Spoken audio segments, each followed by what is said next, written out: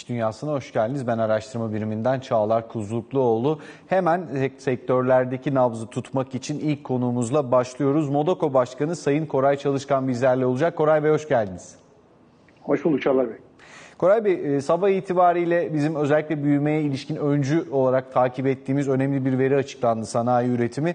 Endeksler bazında baktığımız zaman yalnızca bir tarafta aylık pazarda açıkçası yukarı yönde var e, bir görünüm var. İç pazarda özellikle depremin etkilerini nasıl hissetti sektör ve bununla beraber önümüzdeki süreçte e, düğünler de başlıyor olacak. Mobilya sektöründe bir hareketlilik bekleniyor mu? Deprem sonrası mobilya sektörü evet iç piyasada e, ciddi bir şekilde bir e, yavaşlamayı hissetmeye başladık. E, bununla birlikte ihracatta da ne yazık ki yavaşlamayı hissetmeye başladık. E, ben bakıyorum iç piyasada deprem sonrası dönemde %30'larda %40'lara varan perakende mağazalarda yavaşlamalar var. E, yine fabrikalarımızda daha önceden almış olduğumuz siparişlerimiz, ihracatla ilgili yapmış olduğumuz bağlantılarımız devam ediyor. Ama Şubat ayında ihracatta mobilya sektörü yaklaşık yüzde 13-14'ler civarında e, bir satış kaybı yaşadı. Bir sonraki ayda Mart'ta bakıyoruz yüzde ikilerde, üçlerde bir yavaşlama e, olmaya başladı. Bundan sonraki süreçte inşallah ihracatı toparlarız diye düşünüyorum. Ama Türkiye'de baktığımız zaman deprem, sonrasında işte Ramazan, sonrasında seçim gibi 2-3 e, tane e, insanların alışverişe yönlenmesiyle ilgili çekimser kalmalarına neden olacak e, şu anda olumsuz durumlar var. Seçim sonrası dönemde inşallah mobilya sektörü hızlanmaya başlar ama bizim şuna çok dikkat etmemiz lazım.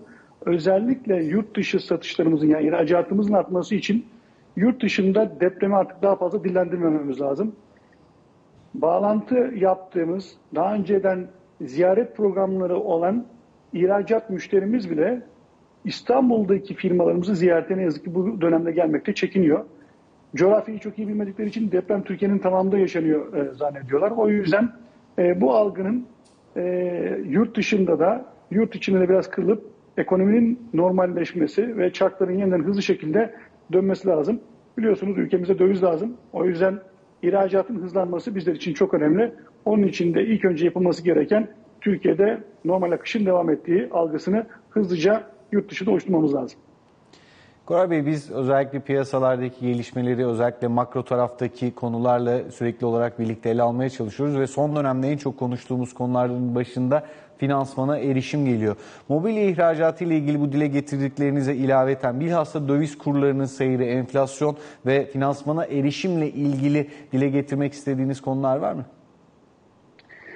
Yurt dışında göndermiş olduğumuz ürünlerde bundan 6 ay öncesinde, 7 ay öncesinde 100 dolara gönderdiğimiz ürünün fiyatını 110 dolar, 120 dolar gibi ister istemez TL'deki maliyet artışlarından dolayı sürekli zamlamak durumunda kalıyoruz. Bu da yabancı müşterilerde bir e, algıda sıkıntı yaşamalarına neden oluyor. Yani dolar bazında niye zam yapıyorsunuz açıklamakta açıkçası biraz zorlanıyoruz bu dönemde. O yüzden TL'nin dolar karşısındaki fiyatının hep söylendiği gibi 23 liralara 24 liralara gelmesi lazım gibi gözüküyor. Bunu engellemenin en önemli yolu ne? Bizim maliyet gelirlerimizin düşmesi lazım. Bakıyoruz son dönemde elektrik, evet, sanayide üretilen elektriğin fiyatı düşüyor, doğalgazın fiyatı düşüyor. Ham maddenin ve diğer ürünlerin fiyatları da düşerse biz döviz bazında yurt dışında yapmış olduğumuz müşterilere fiyatlarını artışlarını artık sabit tutup hatta yavaş yavaş geriye çekmeye başlayabiliriz. O yüzden e, TL'nin rakamının dövizle denk vaziyette yani maliyetleri arttırdığımız noktada dövizin artacak şekilde olmasını sağlamamız lazım. Bu ihracatımızı e, bozuyor. Bununla birlikte biz üretim yaparken e, fabrika kuracağız, makine alacağız. Sanayi kısmında krediye ulaşabilmenin biraz daha rahat ve faizlerinin biraz daha da avantajlı olması lazım. Atıyorum bir araba alacaksak, bir ev alacaksak, lüks bir ev alacaksak bununla ilgili kredi vermekte biraz daha e, çekinci yavaştan alınabilir. Oranlar biraz daha yüksek olabilir. Vadeler biraz daha kısa olabilir ama sanayi kısmında biraz pozitif ayrımcılık yapılması lazım. Fabrika kuracaklara, makine teçhizat alacaklara biraz daha pozitif ayrımcılık bu dönemde yapılması gerektiğini düşünüyoruz. Ee, çok ciddi derecede İstanbul'daki biz fabrikalarımızı İstanbul dışına taşımaya başladık. Özellikle son dönemde Sakarya mobilya sektörü çok ciddi bir atılım yapıyor. Kimle konuşursam konuşayım fabrika kuracak olan sanayicinin kredi bulmakta çok zorlandığını duyuyoruz. Krediye ulaşmakta, uygun avantajlı oranlarda e, kredi ulaşmakta zorlandığını e, görüyoruz. Bununla ilgili bir çalışma yapılması lazım. Bir diğeri de iç piyasada mobilya alacaklarla ilgili de eskiden kredi kartına biraz daha uzun vadeler yapılabiliyordu.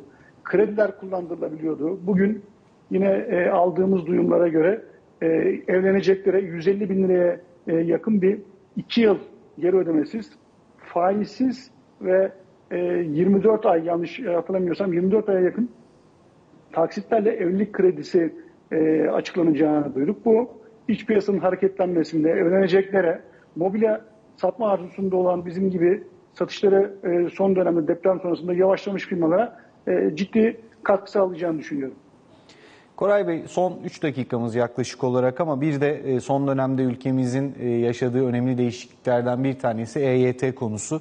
Bu noktada e, finansmanı sektör açısından nasıl sağlanıyor? Bununla birlikte son olarak işsizlik verilerini de karşıladık. EYT ile beraber istihdam görünümünü nasıl değerlendirirsiniz?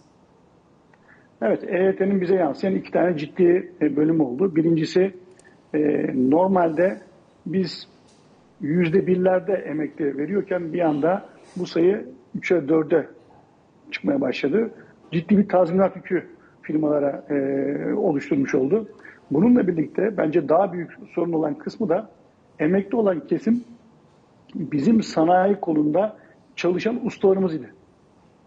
Zaten personel bulmakta zorlanırken bir de yetişmiş personeli kaybetmek sanayide bize çok ciddi sıkıntılar e, oluşturmaya başladı. Biz mevcut ustalarımızı, yetişmiş personelimizi hem emekli edip hem de firmada tutma ile ilgili ciddi ikna çabalarına girmiş vaziyetteyiz ki bunda çok ciddi şekilde zorlanıyoruz.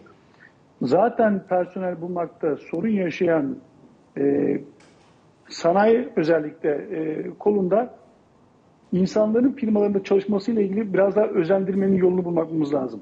Yani 45'li yaşlardaki e, 40'lı yaşlarının e, başındaki insanları emeklettiğimiz noktada sanayide çok ciddi sorunlar yaşadığımızı önümüzdeki günlerde ne yazık ki kapasite düşüşleriyle yaşamaya başlayacağız. Bunu engellememiz lazım.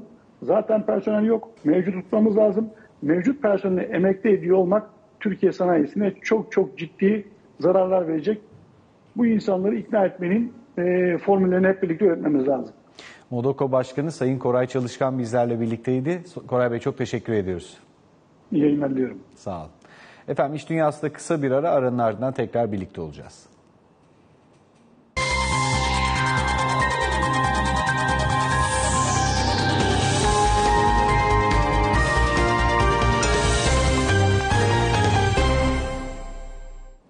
İş Dünyası'na tekrar hoş geldiniz. Çok değerli bir stüdyo konuğumuz var. Ideosoft CEO'su Sayın Seyhun Özkara. Sayın Bey hoş geldiniz. Hoş bulduk, iyi yayınlar.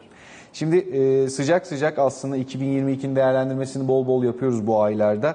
E-ticaret verileri açıklandı ve ilk gözümüze çarpan da 2022 yılı itibariyle Türkiye'de e-ticaret hacmi %109 artışta 800.7 milyar TL olarak gerçekleşmiş. Bu noktada da e, sizin gözlemleriniz vardır muhakkak. E, doğru. Biz de geçtiğimiz e, haftalarda zaten KOBİ e-ticaret raporunu da yayınlamıştık her sene yaptığımız. Burada e, gene konuk olduğumda da bahsettiğimizde konuştuğumuz rakam yaklaşık 750 milyar TL bir beklentiydi. Bugün açıklanan rakamlarla birlikte bu 800 milyar TL gel, TL'ye geldi. %109'luk bir büyüme, iyi bir büyüme. Aslında reel bir büyümeyi de kendi içerisinde bulunduruyor enflasyonu arındırdığımızda. Geçtiğimiz dönemlerde pandemi öncesinde hep %35 olan bu seyir e, aslında 2022 senesinde de pandemiyle birlikte e, gene aynı ivmesini devam ettirmiş oldu. Her ne kadar pandeminin etkisini artık hayatımızda çok hissetmesek de sosyalleşip normal hayattaki alışveriş alışkanlıklarımıza kısmen de dönsek de bence ticaret büyümesi açısından güzel bir rakam oldu. Hatırlarsanız pandemi öncesindeki e, programlarda falan hep e-ticaret hacmi toplam perakendenin içerisinde aslında yüzde 4 civarındaydı 2019 yılında. E, pandemiyle birlikte yüzde 15 lira çıktı. 2021 yılında da yüzde 17.7 civarındaydı. Bu sene bu rakam yüzde 18.6'ya çıktı. Yani kendi içerisinde yüzdesel olarak %5 bir büyümeyle %17.7'den 18.6'ya geldi. Bu güzel bir rakam. Çünkü biz pandemiye girmeden önce bu rakamlar Avrupa'daki, Amerika'daki rakamlardı. Tabii onlar da pandeminin etkisiyle büyüdü ama güzel bir büyüme ivmesi yakaladık. Bir diğer aslında bu açıklanan rakamların içerisinde bizim dikkatimizi çeken Türkiye'deki işletme sayıları. Yani e-ticaret yapan, perakende pazar yerleri üzerinden veyahut da kendi e-ticaret sitesi üzerinden satış yapan e-ticaret firmalarının sayısı 550 bine ulaştı. Geçen sene bu rakam 460-470 bindi. Yani dijitalleşme sürecine hala dahil olan, pandemiden sonra bile bu e, sürece dahil olan birçok işletme var. Ama bunların sadece ve sadece 31 bin 32 bin tanesinin kendine ait bir e-ticaret siteleri var. Yani kendi markalarını yansıttıkları, kendi siteleri üzerinden satış yaptıkları e, toplam 550 binlik rakamın içerisinde hala çok küçük, çok da hızlı büyümeye devam edecektir diye düşünüyoruz. Peki e, siz Covid e-ticaret raporundan da bahsettiniz. Bu noktada bugün açıklanan verilerle beraber hem COBİLAR tarafında hem de genel e, görünüm anlamında baktığımızda hacim ve ciro olarak öne çıkan sektörler var mı? Biz e, hacim ve sektörel olarak ya hacim olarak baktığımızda aslında e, bugün açıklanan rakamın içerisinde e, kamu ödemeleri, seyahat, e, hızlı tüketim malzemeleri, market alışverişleri gibi dijitalleşen son pandemiyle birlikte de çok hızlı büyüyen e, kategoriler biraz ön plana çıkıyor. Ama işi birazcık daha e-perakendeye yani e, perakendiciliğe çektiğimiz zaman o zaman ön plana çıkanlar bilgisayar, bilgisayar bileşenleri, elektrik, elektronik ürünler, ev eşyaları ve tekstil ürünleri ön plana çıkıyor. Kobi segmentine indiğimizde yani küçük işletmelerin kendi siteleri üzerinden bizim yapmış olduğumuz raporlamaya göre çıkarttığımızda da burada birazcık daha farklılık gösteriyor. Bu alana dahil olan kendisini dijitalle farklılaştırmak isteyen firmaların oluşturduğu ön plana çıktığında kategoriler birazcık farklılaşıyor. Bunların içerisine e, hırdavat, kamp, outdoor malzemeleri, spor, spor ekipmanları gibi birçok kategori dahil oluyor. Çünkü bu alanlar hala e, boş. Firmalar bu alanlarda hızlı büyüme kat edebilme şanslarına sahip ve e, dijitalleşmeyi belki fiziki mağazacılıktan önde gördükleri için dijital alanda da büyüyorlar. Bu, bu kategoriler birazcık daha ön plana çıkıyor diyebiliriz. Siz konuştukça aslında benim aklıma yeni sorular geliyor. Şimdi bu Buyurun. sabah e, özellikle e, hem Türkiye hem dünya için geçerli yaşam maliyetleriyle ilgili özellikle kalemlerin artması kaynaklı artık evde daha çok vakit geçiriyoruz diye. Yani salgın belki eskisi kadar etkili değil ama evde artık özellikle aileler daha fazla vakit geçiriyor diye bir e, haber vardı karşımızda. Bununla beraber siz konuşurken aklıma bir de son dönemdeki bu kuşak ta- e, tartışması geldi. İşte ben 88 doğumluyum. Bizim özellikle hem sokağa hem dijitale e, uyum e, şeyimiz daha kolay oldu adaptasyonumuz. Bu gözle baktığımız zaman hem e, alışveriş sepetlerindeki türler hem de sepetlerin miktarı anlamında son dönemdeki gelişmeler nasıl etkiledi? Ee, dü- dünkü rapor, yani dün, dün o raporu ben de okuma fırsatım oldu ve özellikle de Almanya'da davranışın farklılaştığını görebiliyorsunuz. Davranışın işte evdeki tüketimi arttırması, temel ihtiyaç olan ürünlerin dışında işte çanta, e, işte ayakkabı ya da birincil öncelikli ihtiyaç olmayanların birazcık daha pazarının küçüldüğü, temel ihtiyaçların arttığı bir durum. Ama bu tam Türkiye ile maalesef uyuşmuyor.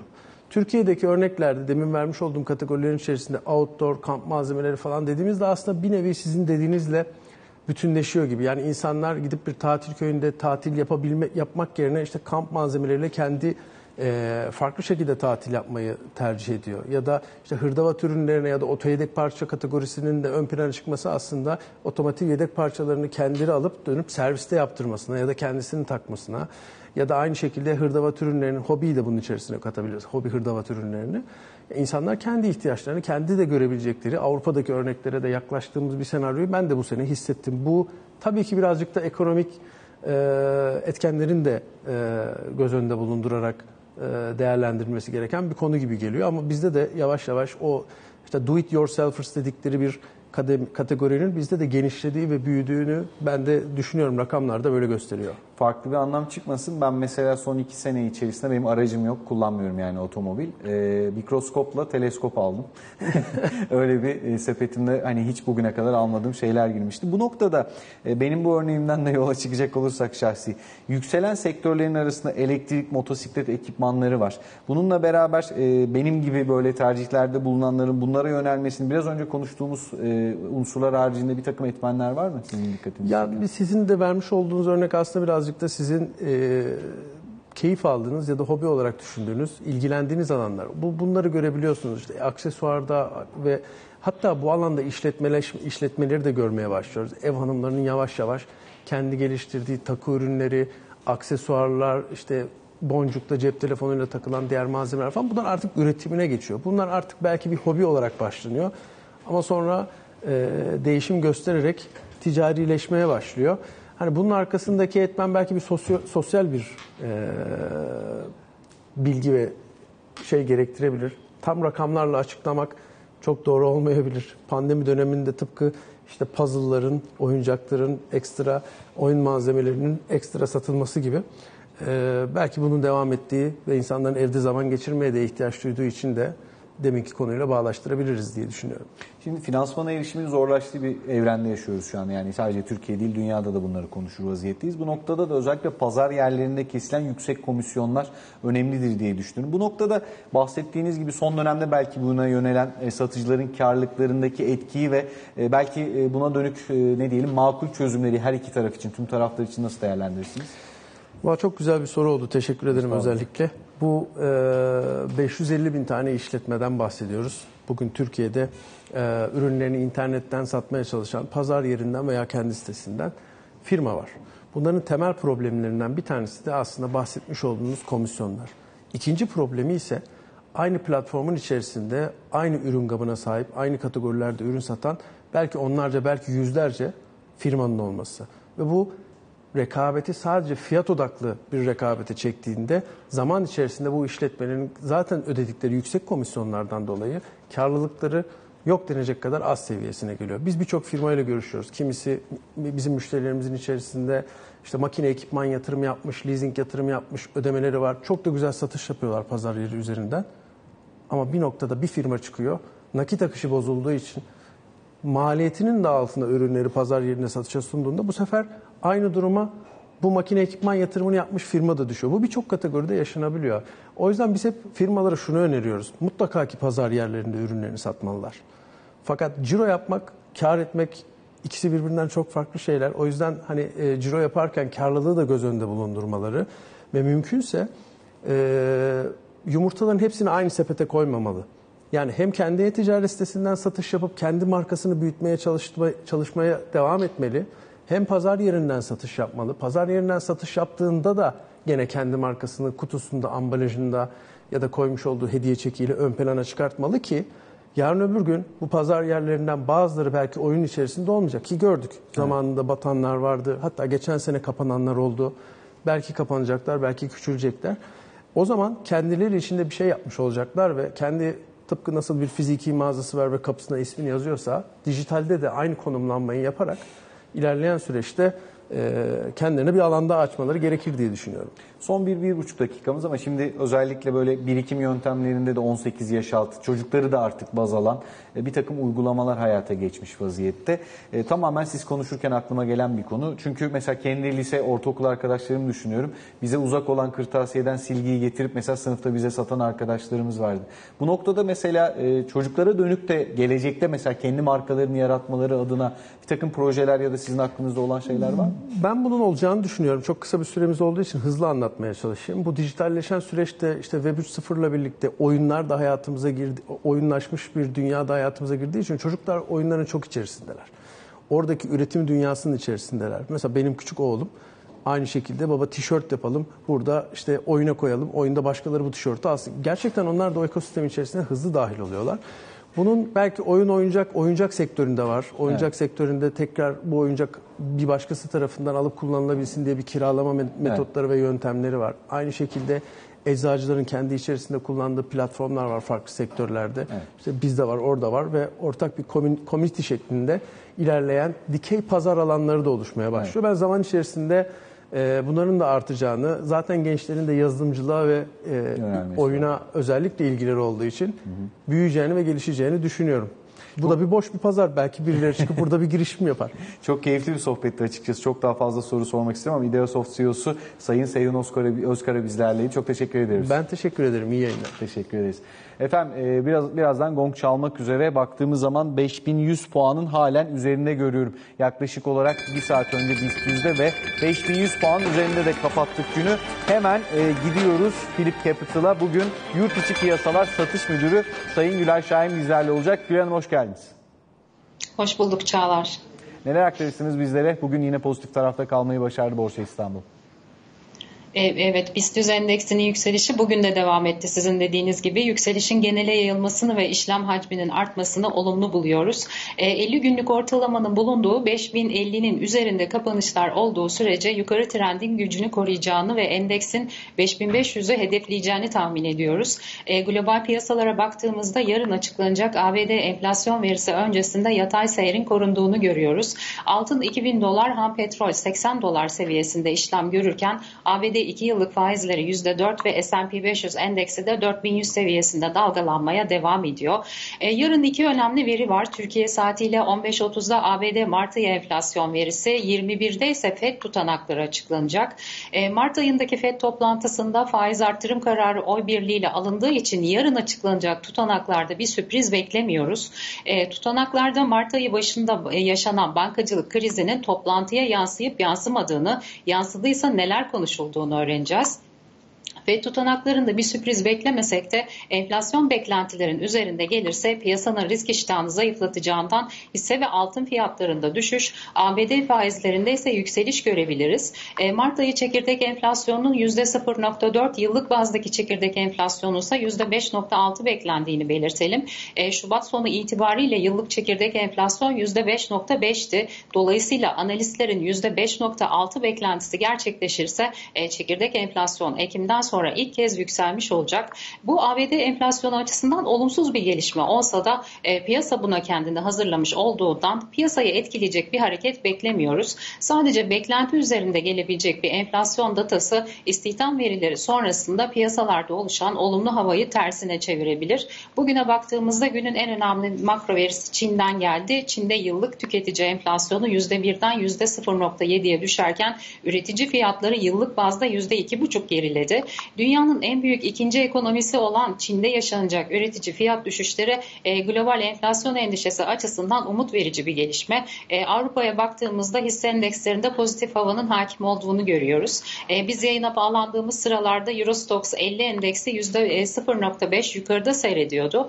Yeri gelmişken altını çizelim. E, Eurostox 50 endeksi 2022 yılı zirvesine yani tüm zamanların en yüksek değerine yaklaşmış durumda. E, geçen yılın Ocak ayında New York Borsa borsaları gibi zirve yapan ve 4400'ü test eden Eurostox sonraki 10 ayda aralıksız düşmüş ve %25 değer kaybıyla 3300 puana gerilemişti.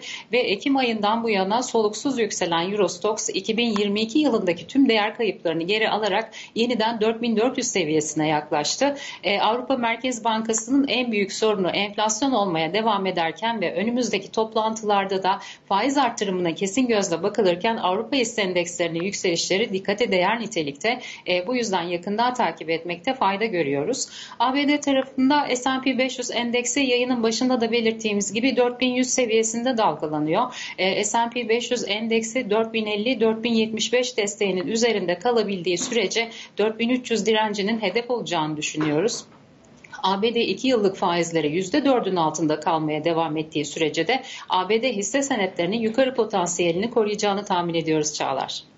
Philip Capital Yurt İçi Piyasalar Müdürü Gülay Şahin bizlerleydi. Kendisine teşekkür ediyoruz. Malum bu sabah e, hem sanayi üretimini hem de özellikle inşaat maliyetleriyle ilgili detayları e, konuşmuştuk. E, veriler gelmişti. Özellikle inşaat maliyet tarafındaki detaylar önemli. Bu tarafa göz atacağız. Türkiye İstatistik Kurumu 2023'ün Şubat ayına ilişkin inşaat maliyet endeksini açıkladı. Buna göre inşaat maliyet endeksi 2023 yılı Şubat ayında bir önceki aya göre %2.08, bir önceki yılın aynı ayına göre de %72.37 arttı. Bir önceki aya göre malzeme endeksi %3.43 artarken işçilik endeksi %1.20 azaldı. Ayrıca bir önceki yılın aynı ayına göre malzeme endeksi %65.52, işçilik endeksi %103.99 artış kaydetti. Verilere göre bina inşaat maliyet endeksi bir önceki aya göre %2.43, bir önceki yılın aynı ayına göre de %73.73 artarken bir önceki aya göre malzeme endeksi %4.02 arttı. İşçilik endeksi ise %1.32 azaldı. Bina dışı yapılar için inşaat maliyet endeksi de bir önceki aya göre %0.94, bir önceki yılın aynı ayına göre %67.94 arttı. Efendim içeride bu detaylar varken dışarıda da Bank of America'nın tarihsel örnekler ve faizlerin tepe noktaya ulaşması sonrasında hisse senetleriyle ilgili uyarısı vardı. Bu bandımızı gireceğiz ardından da iş dünyasına veda edeceğiz. Güzel bir akşam diyorum tekrar görüşmek ümidiyle. Bank of America'ya göre küresel sıkılaştırma döngüsü sona doğru yaklaşırken merkez bankalarının olası faiz indirimlerine odaklanan yatırımcılar, durgunluk riskinin devam ettiği ve hisse senetlerinin daha da düşebileceği gerçeğini göz ardı ediyorlar. Stratejistler son yükseliş hareketinden satış ya da faizlerin tepe noktaya ulaşmasıyla hisse pozisyonlarını boşaltma tavsiyesinde bulundular. Piyasa aktörleri bir yandan da bankacılık krizine ilişkin gelişmeleri izliyor. Bloomberg'in haberine göre Federal Konut Kredisi Bankası sistemi, Mart ayının son haftasında bankalara 2 hafta önceki 304 milyar dolardan keskin bir düşüşle 37 milyar dolar borç verdi. Mart ayının başlarında tüm zamanların zirvesi görüldükten sonra yaşanan bu düşüş, bankacılık stresinin azalmaya başladığının bir işareti olarak algılandı. Sistemdeki borçlanma hala yüksek seviyelerde seyretse de artışın hız kesmesi üye bankaların nakit ihtiyacının karşılandığı ya da azaldığı sinyalini veriyor.